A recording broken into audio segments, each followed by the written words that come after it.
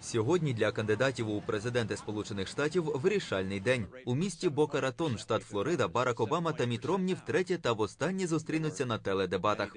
Говоритимуть про зовнішню політику Америки. За прогнозами аналітиків, цей раунд найменше вплине на рейтинг та результати президентських перегонів. Попередні два рази кандидати висловлювалися з приводу економіки та внутрішньої політики. Це турбує електорат більше ніж зовнішньополітичні відносини. Тож власний вибір, певно, вже зробили за результатами двох попередніх раундів дискусії.